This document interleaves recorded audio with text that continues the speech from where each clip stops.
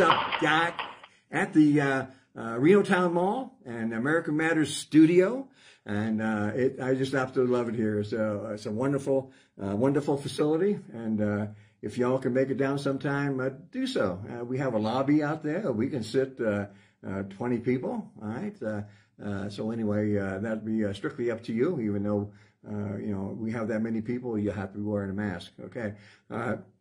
That being said, we do have um, uh, some uh, uh, of my uh, sponsors that I have to get to, and you know how that goes, right? And and and we have very very certainly Wainema Ranch. Uh, it's a it's a charitable organization. They, they also uh, have a, a wild horse uh, Mustang sanctuary, and uh, it could be anywhere from oh, uh, 50, 100, a couple hundred head of horses end up at the um, at the uh, Ranch, and uh, that's uh, that's out there by Border Town. All right, so uh, uh, if you like to visit, uh, please do. The directions will be on their webpage, uh.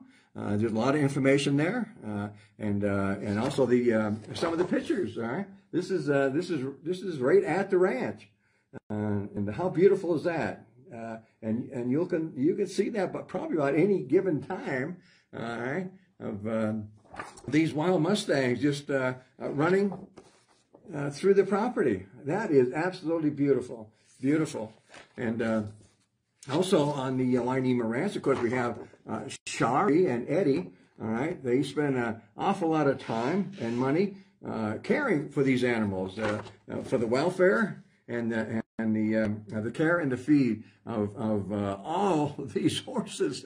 Can you imagine? This is uh, uh, th- this is a you know this is an act of love uh, uh, to to be able to do this day in and day out, twenty four seven. You know it's incredible what they do, and and tip my hat every time I, I talk about the Wainema Ranch.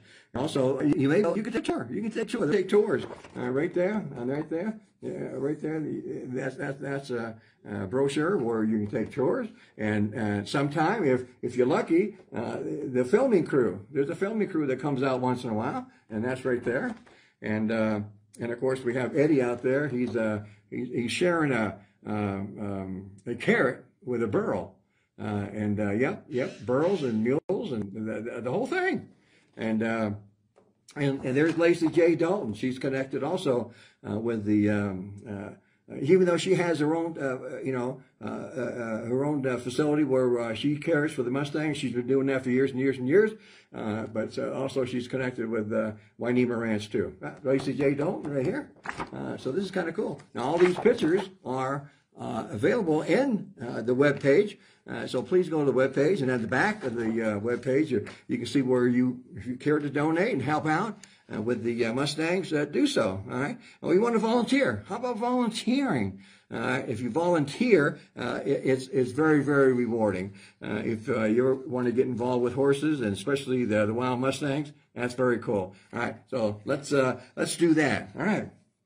And uh, and so we have we have uh, the Great Basin magazine. Right, Great Basin magazine. I was on. Well, no, actually, this is the. Oops, sorry, I got the wrong one. That's when I was on there. No, this is the latest one right here, and um, and uh, the Great Basin magazine. Uh, it's uh, uh, Cameron Hopkins, uh, publisher. Um, he has a new one coming out for Virginia City Insider.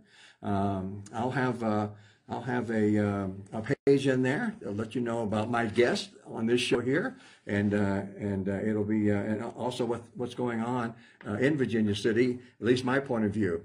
And then if you take um, uh, the Great Basin Highway magazine uh, and you go to page uh, 28, uh, uh, no 48, 47, I'm I'm on 47, and right there, all right. And this is some of the uh, movie awards that uh, that I've gotten, and you go ahead and you can read a little bit about me uh, or not. And if you're really interested, you can actually get my book, my book right there. Uh, and that's that's uh, in the uh, in the Great Basin Highway magazine. And one, I'll take it one step further. Is that here's the book. here's the book. Sandy Lene, author, Nevada's author. Um, I'll tell you the story again. You're probably getting sick of hearing it, but I got, got to tell you. Uh, we, we talked a couple of years ago, and, and she said, in her own words, she says, You're the most interesting man I've ever talked to. I'd like to write your biography. And, uh, and I said, Yeah, okay, let's do this. So uh, we went back and forth about a year, and, and voila, here we have a book. All right, uh, Sandy Lene. You go to my webpage, which is uh, docdurden.com, and uh, you'll be able to, uh, uh, well, the, the book is actually all over the, the web page, so there'll be no problem finding the book and how to purchase it if you care. All right, it's good reading, and we're to uh, we'll update this too uh, because I've done I've done some good stuff along the way that needs to be said. All right, so we'll update it, uh, you know, eventually. Uh, uh, but right now, you can get it on my web page. All right, all right, and if uh, you know we have any questions for Harold, yeah, you can go ahead and call in, and and we, we and Harold will be able to answer all those questions, I'm sure, at 844 790 8255. All right. And um, also, if you care to uh, uh, sponsor uh, this show, uh, this show here uh, is, is now reaching an audience of 15,000. All right, so we have some big numbers here that that uh, a sponsor may be interested in, and and if you are, please, Eddie um, Floyd, who is the founder of America Matters Media, he says, uh, Doc, he says, uh, listen here, since we've teamed up and, and, uh, and, and, uh, uh, I want them to call me direct on my cell phone. Uh, so, uh, here's, here's, here's my cell phone number. So please uh, have them give me a call. Okay. All right. So this is Eddie Floyd's direct number in case you're interested, which is 775 384 4444. All right. Eddie Floyd's number. Let me tell you that again. All right, 775-384-4444. And we're going to break. I just made it. All right, come on back. All right. All right, welcome back. We're here in our second segment, and uh, um, and we're and we're here with we're here with Harold Miller. All right, I love this guy. We met on the set of uh, Crazy Creek Woman, Crazy Creek Woman, and um, and uh, that was uh, Robin Adair and that was kind of cool. Uh, and and uh, and that uh, movie should be coming out soon, as far as I know. Um, but let's let's get with you know what? Yeah, let's let's get with Harold right now and introduce him to the show. Harold Miller, welcome to What's Up, Doc. Well, thank you, Doc. Yes. Yes, and uh, you know uh, what, what I'd like to have you do right away, uh, which is kind of kind of uh, different than how I treat my guests. Uh, even though you are a cowboy poet, uh, you know I would like you to start the show with a poem.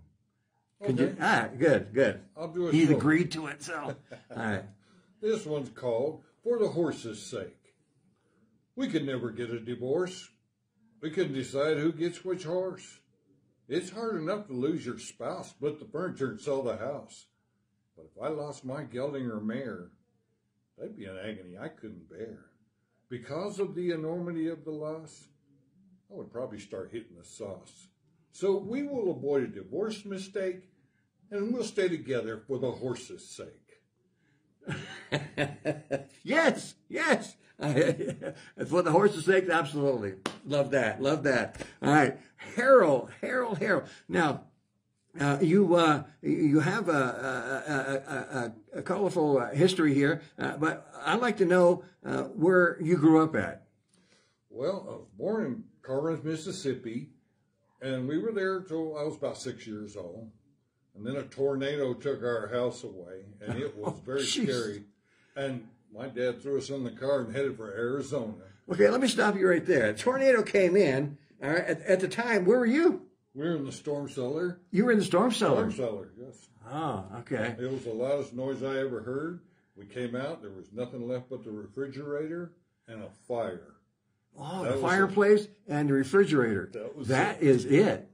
I've seen that in pictures many, many times. You went through that. yes. Amazing. And that was it. we we packed up, moved to Arizona. So Dad said, "Come on, get in the car. We're moving. you were moving from Mississippi to Arizona. Yes. All right. So what? And uh, so you were probably what six years old then? Well, six years old. Yeah, yeah. So what happened then? Well, we moved down here, and he got to work on a dairy, so I got to work with cows. I Oh, used to mhm. ride with him uh, to bring in the cows and stuff. And before that, in Mississippi, he would take us to the movies to see Gene Autry and Roy Rogers and all that, and that just spurred my love for the cowboy life and the cowboy way. And so that's that's what happened after we after we got out here, and then I worked on a few horse ranches and a lot of farms down there in Arizona. Arizona. Okay, and and uh, so so when when you okay now you're helping your dad with the uh, with the cattle uh, uh, farm, uh, doing milking and all that stuff. All right, and then you kind of branched out uh, uh, only because of your love of the uh, cowboy. Obviously, we did we had a lot of horses uh, uh, when we when we watch uh, uh, those old movies, and, uh, and I'm with you on that because I watched the same ones. And uh, so you you, uh, you went to your first horse ranch when? Uh, probably when I was about 16. Okay, But so we what- had so- animals because we kind of lived in the country. So, Yeah, yeah. You know, and we had mules in Mississippi. We had donkeys in Arizona. And then I moved up to Nevada about 23 years ago and started doing horses. Okay, so but uh, at 16 years old, you're in Arizona, and this is the first time that you've been helping out on on a horse ranch.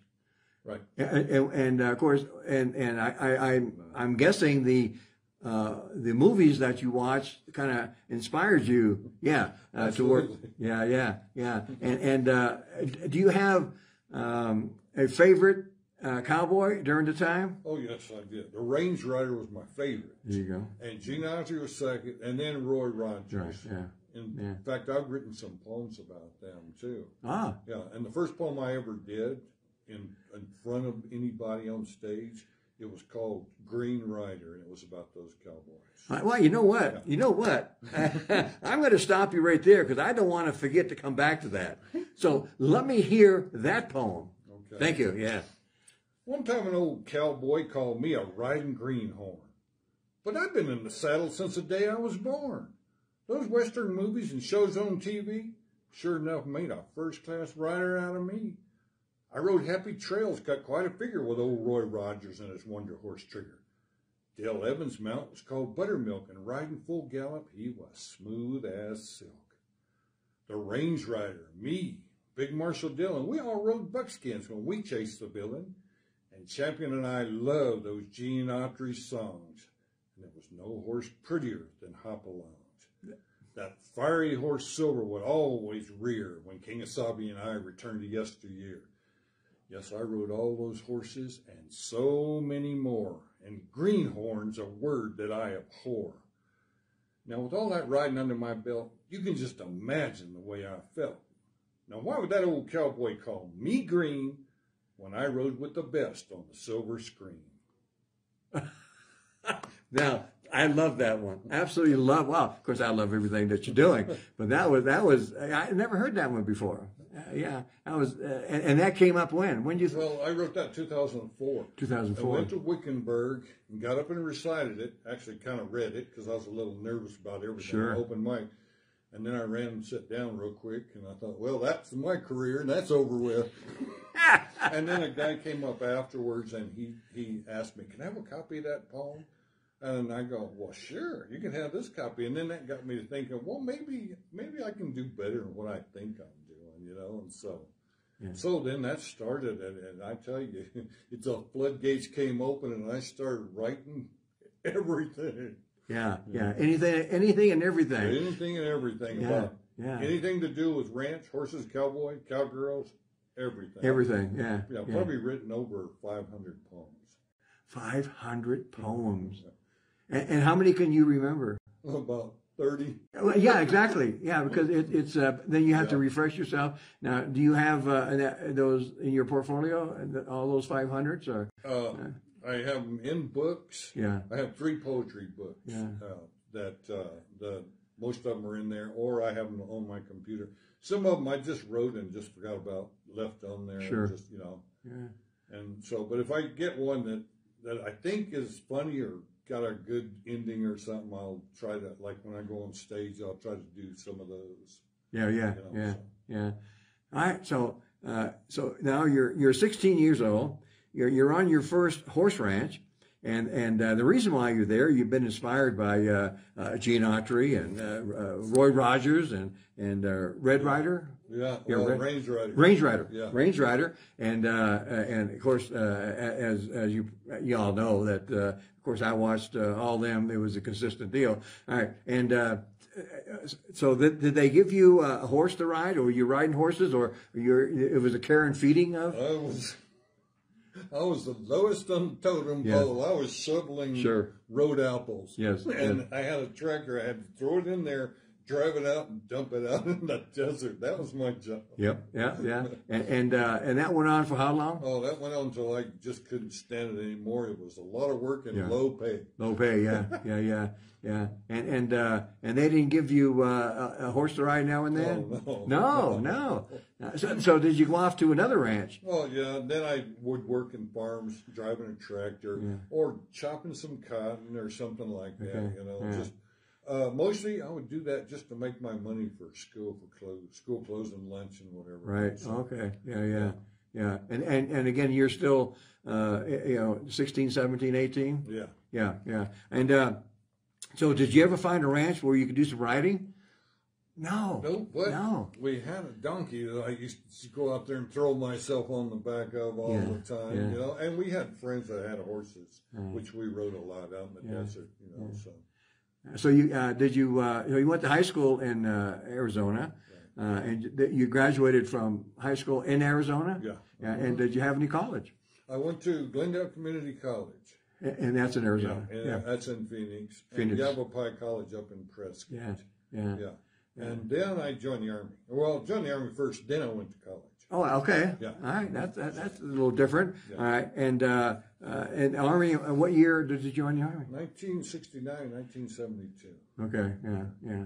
Yeah. That uh, that was hot and heavy. Yeah. Oh, yeah. Vietnam was going on. But see, I was a correctional officer, so I didn't have to go because they didn't need any correctional officers over there. They only had one stockade. Okay. Now wait a minute. Uh, where where did the correctional officer come from? Uh, while you were in the Army or When I was in the Army, they put me in the military police. Oh. okay. And then they gave us a secondary MOS of uh, correctional officers because they needed people working in the prison. So, so I went to Leavenworth Prison and worked. Hmm. Really? Boy, that's uh that's probably top of the heap. Yeah. Leavenworth. Uh, now. Uh, I was, I was 19 years old walking around in those tiers, and they went around, you know, like Yeah. eight high. yeah. And here were these grown men that I was telling, hey, it's bedtime. Go get in the bed. You know, it's like, Now, uh, yeah, uh, yeah. Well, I think I would have had the jitters. Uh, there's no question about it. So, how'd you feel about that? Well, I was a little nervous at first. Yeah. You know, but I started out in the stockade, so I had kind of had a, uh, you know, I was kind of used to it. I was in the stockade in Fort Devens, Massachusetts, and then they sent us to Leavenworth after, you know, about a year's experience. So I'm glad they didn't just send me down there. Yeah. know, you know, Okay. Yeah. Exactly.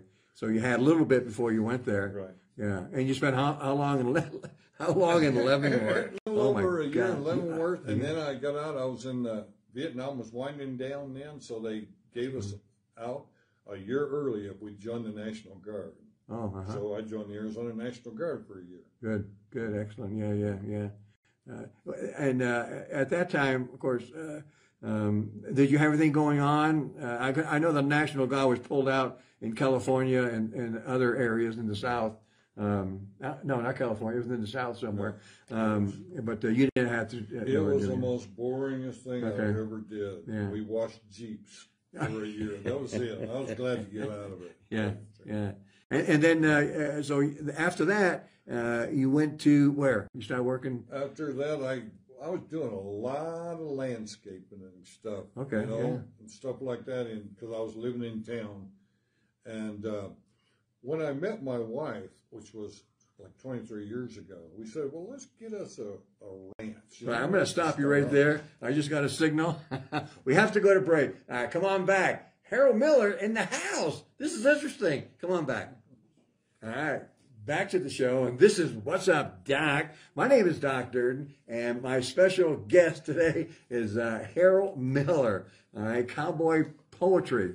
And uh, uh, I'm looking at my engineer. Um, oh, I, I get it. All right. How about that? um, I must have hit my mic. All right. Yeah, we have uh, uh, Harold Miller, Cowboy Poetry, uh, and uh, this is this is fun. Uh, he has uh, he, he has well he he's written 500 uh, poems for crying out loud. Uh, he, he, loves what he does. He absolutely loves what he does. So uh, right now, I, I, I, will, before we go on uh, to where uh, he kind of leaves uh, Arizona and ends up in Nevada, I, would like to have him do another poem. okay? Yeah, let's do that. Okay, first I want to say hello to Belinda Giles. Oh yeah, yeah, she's uh she's liking this absolutely. She's the biggest fan uh yeah for American Matters, and uh, yeah, I love you. Uh, uh but uh, yeah, uh, Belinda, yes indeed. Uh, good. I'm, I'm glad you mentioned that. Sure. And this is called the Flight of the Phoenician. I left Phoenix, Arizona in 1998. I entered into a blissful matrimonial state. We tied a proverbial knot down near LA and we moved to northern Nevada the very next day. Now, we ate at the buffets till we were about to choke, and we played the slot machines till we were darn near broke. But despite the neon lights, there's one thing that was true. Though I was living in the city, I was a country buckaroo. Now, one thing we had heard of, and we couldn't wait to see, was a herd of Nevada's horses running wild and free. So one day we skipped the buffet and we skirted the casino and we drove out to Virginia City in the mountains east of Reno. We sighted our first Mustangs. We came around the curve. And I wanted to show my sweetie that I had a cowboy's nerve. So I handed her the camera and asked her if she'd take a shot of me and those wild horses so folks could see how close I got. I walked into the clearing, moved slowly toward the band. Sweetie aimed the camera just like I had planned. I heard some hoofs a moving. I thought that they had fled. That's when I saw the stallion, his ears pinned flat to his head. I lost him for a moment as he went behind the tree, and when he came back into view, he was headed straight for me. And his demeanor said it all as into the clearing he broke. And my dreams of being a horse whisperer went right up in smoke. I absolutely love this. I love this. That was great. That was great. And uh, yeah, you know, I could I could hours, or I could listen to him. All right. So let's get back to uh, uh, to uh, your childhood, and now we're we're. Um, we're, we're, we're still in Arizona right here. And uh, so right now we're going to make a trek to uh, uh, your next uh, state, and I believe that would be Nevada. Nevada. All right. right. So let's start there. You left, uh, uh, yeah, you left Arizona. Well, I met my wife in L.A. I seen her seen her ad in one of them single newsletters. Yes. She was looking for a cowboy. So I told her I was half John Wayne and half Andy Griffith. And then I started writing her poems and stuff, and that did the trick. she liked my writing. so then I went over, we got married, we moved to Nevada, just like the poem said, the very next day. Very next day. Yeah. Yeah. And uh, we moved up here, and we, you know, we both just love wild horses. So it didn't take us long. You know, I worked at the Joint, the in Carson City, the joint. Okay. Uh, yeah, Warm. Springs Prison. Oh, okay. Yeah, I worked there. Uh, okay, so you yeah. went back to prison again. Yeah, went to ah. prison again. yeah. yeah. spent a lot of time in prison. Yeah. In fact, I turned 21 in prison. My birthday happened, and I realized I just turned 20. I was at work. I just turned 21 in prison. I couldn't believe that. And what prison was that? That was Leavenworth. Leavenworth. You were 20, turned 21 in Leavenworth. Hardcore prison. Wow. So, anyway, uh, so we got up here, and so uh, we we found a little ranchette out in Stagecoach, and we started raising horses. And I was sitting in the tower one day. That's how my poetry, cowboy poetry got started. I was always writing stuff. But one day I'm sitting out there and I'm watching all those guys break those Mustangs because we had the horses there at Warm Springs. And so I said, you know, I think I'm going to just go on and start writing some more poetry. And that's what I did. And then I sent some of it off to, and it got published. And that, they should have never did that because after that, that was it. I couldn't stop yes. Well, you're inspired now. Absolutely. People are liking what I'm doing. Yeah, it's yeah. like, and then a guy called me and asked me. It's when we, we met Tony at Grass Valley. Uh, Tony uh, Yeah, uh, Tony Argento. Argento. And I think it was his mother called and asked if we wanted to do poetry or something. And I don't even know how she heard of us. But yes, that's where we met Tony. And then uh, we started just doing, me and Tony and Dave uh, Fisher just started doing poetry everywhere. And I was writing, uh, Dave Fisher writes books, okay? Mm. Tony, he recites, he's, he's a showman. But I wrote poems and I would send them to magazines and they would get published and it was like, They get published. "Whoa, Excellent. That's cool. Yeah, it know? is. Yeah. and so that's the way it went for years, you know. And finally, Dave moved away, and uh, Tony he started writing some of his own. He did a good job too, you know. So, and. Yeah, I'm I, Yeah. just a little footnote. I'm trying to get Tony.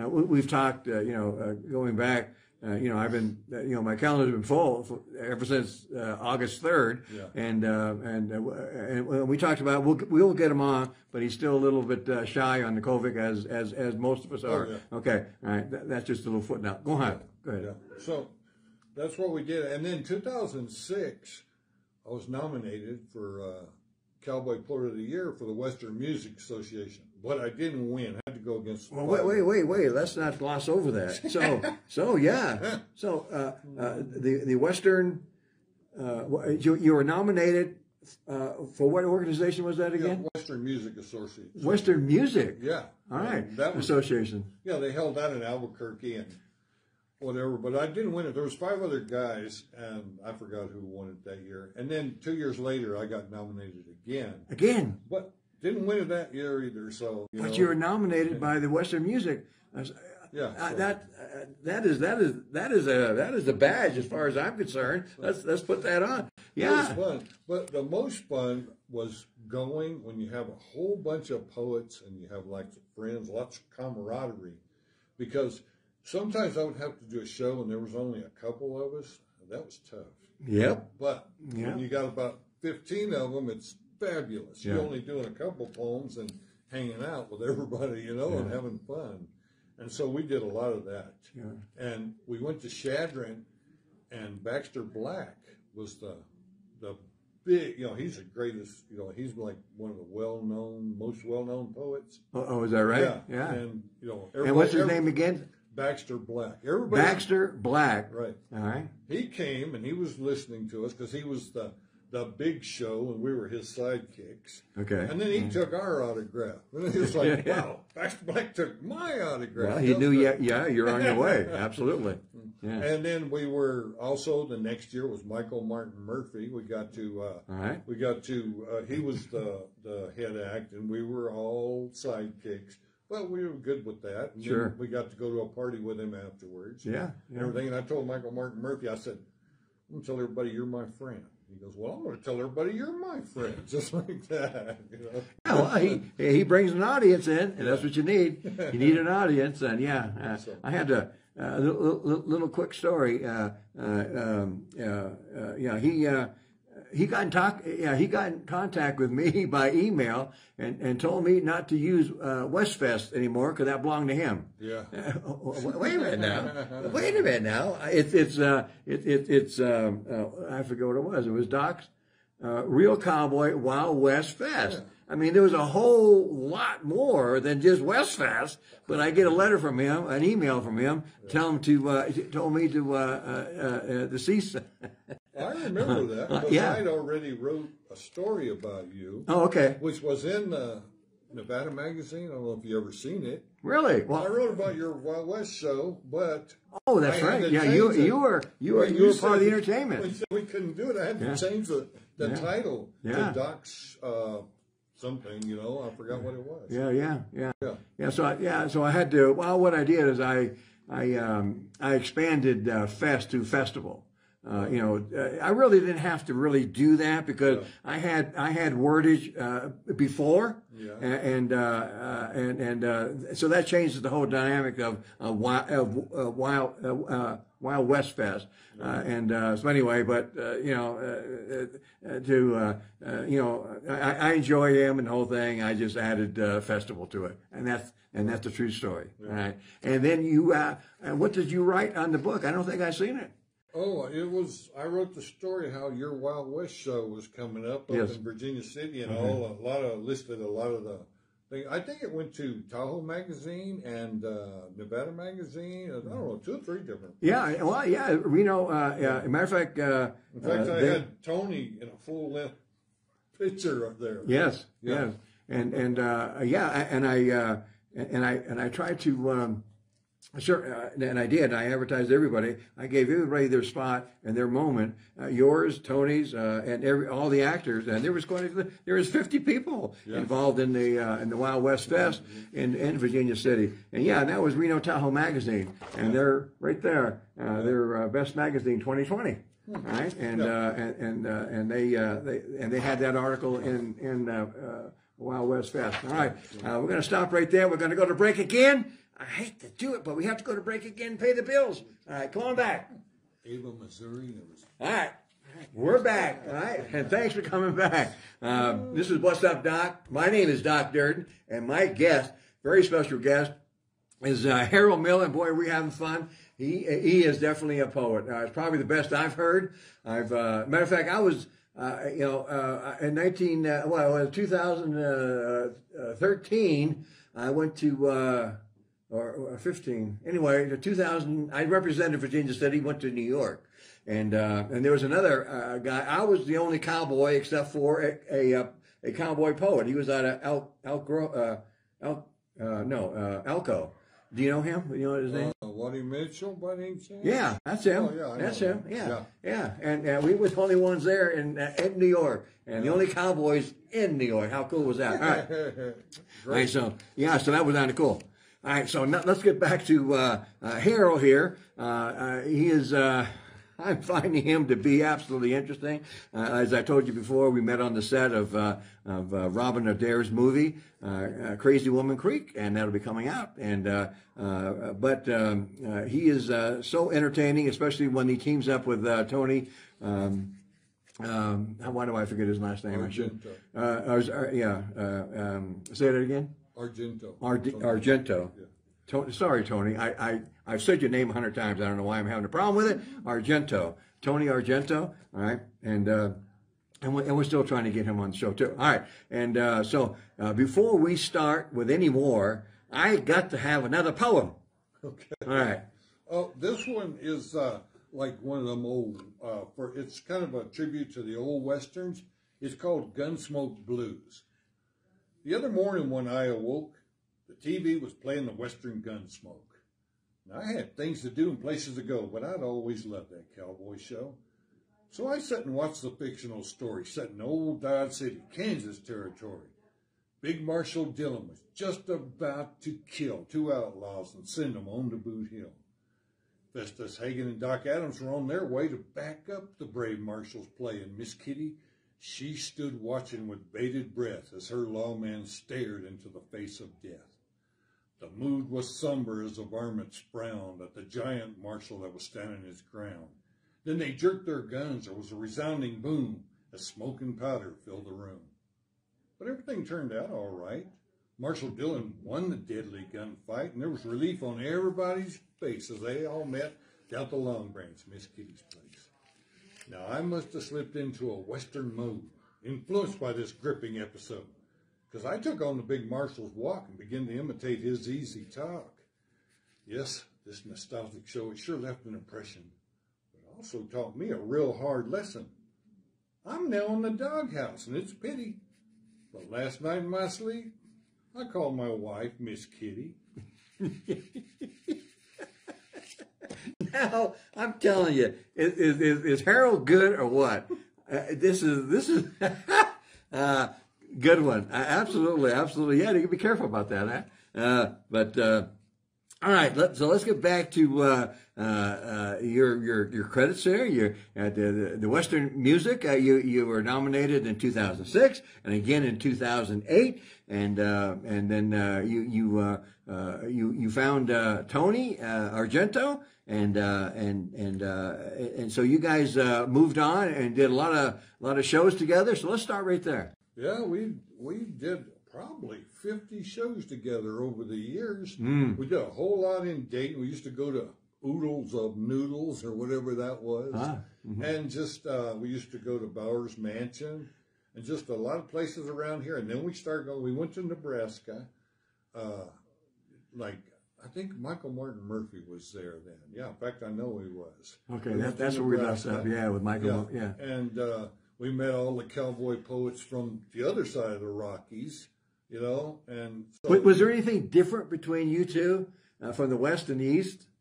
just just a little bit. A little bit. Western Westerners are a lot more open and friendly. Where the on that side of the Rockies, they want to know who you are and what you're about before they talk to you. Oh, okay. know. All right. Yeah. So, so they're a little standoffish Yeah. before they get to know you. Yeah, huh? until yeah. they until they get to know you. Okay, Yeah. yeah. And so, but everybody was nice, and you know, we met like Yvonne Hollenbeck, who was Mm. a big. She's a big name in the poetry yeah. uh, business and whatever. In fact, we got to meet just so many people, and it was just so much fun. And when you have more people there, it's a whole lot more fun than just doing Oh, a sure. show, you know. And so, because Tony, you know, he can carry a show for for an hour and a half. Very So he is, he is the entertainer. yeah, yeah, yeah, yeah, yes, and you know, and mostly though, I like to write. yeah. You know, and I I found a guy named Bruce the bartender. Actually, his name's Bruce Flanders down in uh, uh, L.A. And he started doing my poems. So I said, "Well, that's great. I'll write them. You do them." Ah, okay. So he did them at the haunted saloon and stuff, you know. For a long time that went on. And but my best thing Now, now, even though you are writing them, you write them in a in a in a in a in a certain genre, what you expect to hear and see. Yeah. Did he meet that? Did you Oh, have yeah. to? Yeah, yeah, he was did. Okay. pretty good. He had a he he was an announcer at the Irwindale Speedway racetrack. Oh, yes. So he had a really good Okay. announcing voice, so he could do those poems great. All right. Good. Now, what I was going to say is the biggest crowd that I ever did, and Diana was with me, my wife. We did Ava, Missouri, the Foxtrotter convention there, and there was thousands of people there, and I didn't know if I was going to be able to do it or not. I'm about to have a heart attack going out there in front of that many people. And they put us under a, a kind of like a little pavilion, so they couldn't see us. All they Uh-huh. could do is hear us. Yeah. That was fabulous.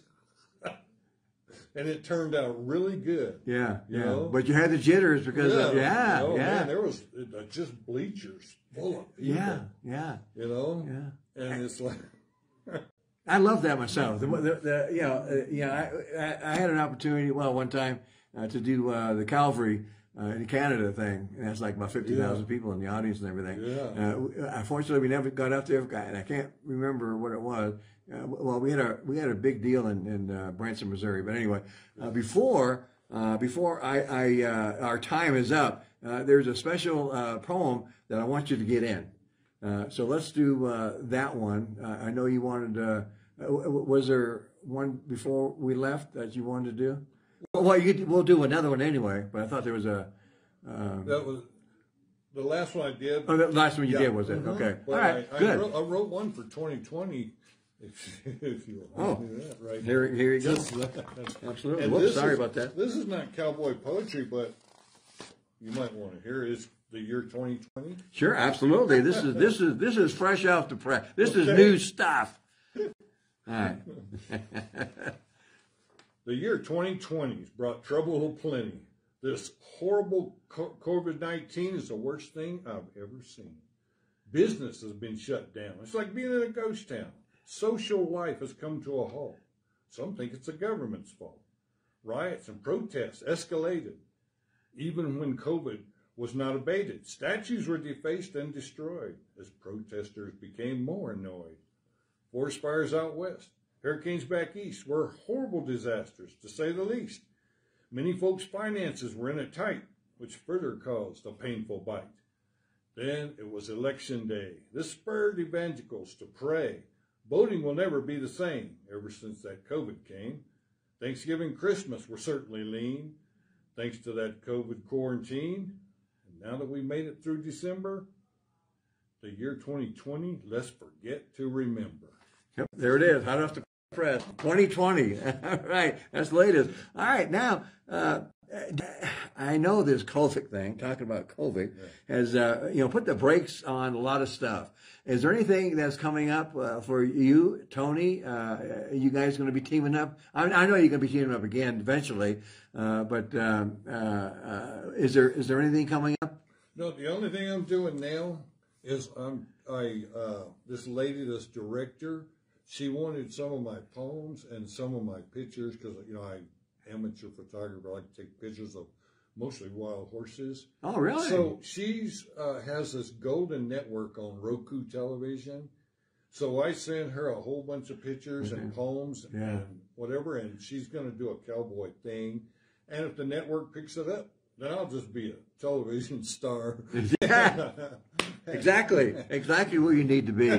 Uh, yeah, and, and, and this this lady is is where? She her her name's Timma Hammond. She's a director in L.A. or actually Oh, LA, Las okay. Vegas now. Yes. She used to be in L.A. All right, Vegas You know, now. yeah, and she's she does the Golden Network on Roku television. Oh yeah, yeah. yeah. So I don't think they've got it yet. I've sent her the stuff, and they're editing, and they're going to try to make a film out of it. You know, and a few other cowboys joined in, Sure. or whatever. So Yeah, yeah. yeah. You, you don't have any of their names or anything. Uh, Uh, no. Willis Lamb, Willis Lamb. Oh, okay. She's you go. using his music. Yes. If it goes, Okay. And uh, Kelly Knapp, I don't know if you've ever met her, but uh, No. she lives around here. Yeah.